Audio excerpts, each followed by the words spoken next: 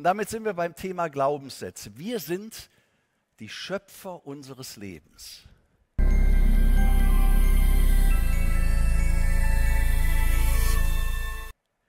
Du bist der Schöpfer, die Schöpferin deines Lebens. Immer wenn du denkst, schaffst du, schöpfst du etwas, erschaffst du etwas. Wenn du fühlst, erschaffst du etwas. Wenn du sprichst, redest, erschaffst du etwas. Und wenn du etwas tust, bist du Schöpfer. Bei diesen vier Dingen, immer.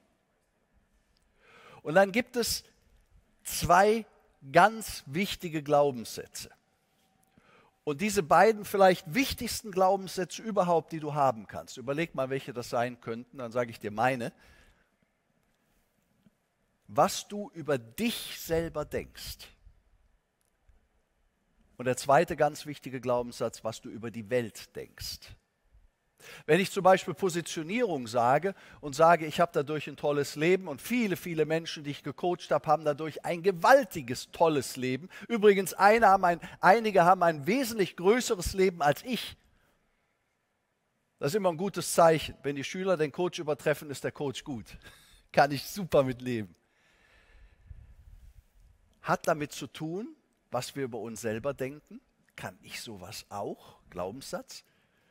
Und ist das in der Welt überhaupt möglich, was wir also über die Welt denken?